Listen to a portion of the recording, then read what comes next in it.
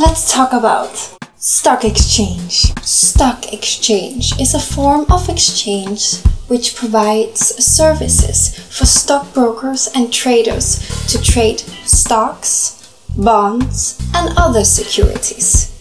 Stock exchanges also provide facilities for issue and redemption of securities and other financial instruments, and capital events including the payment of income and dividends.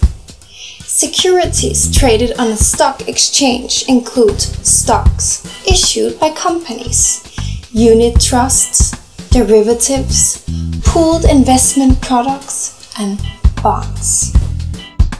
I would love a tour in the stock exchange.